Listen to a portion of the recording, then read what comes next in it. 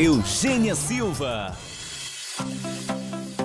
Olá, gênios e gênias, tudo bem com vocês?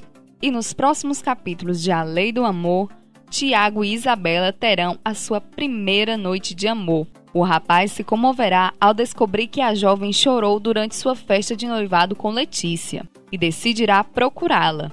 Ele pedirá ajuda de Antônio para arranjar um encontro dos dois num café próximo ao cursinho.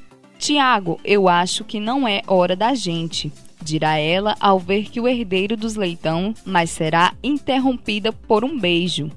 Em seguida, Tiago vai se declarar: Eu precisava vir até aqui para te dar esse beijo. Eu precisava te dizer que não consigo deixar de pensar em você um instante sequer. Os dois entrarão no carro de Tiago, que levará a moça para a casa dela. Quando chegarem à porta do prédio, eles encontrarão Flávia. A DJ avisará que Zelito está acompanhado e por isso é melhor não subir até o apartamento. Tiago então convencerá Isabela a seguir para um hotel. Ele deixará claro que eles não precisam ir além. Os dois acabarão se beijando e fazendo amor.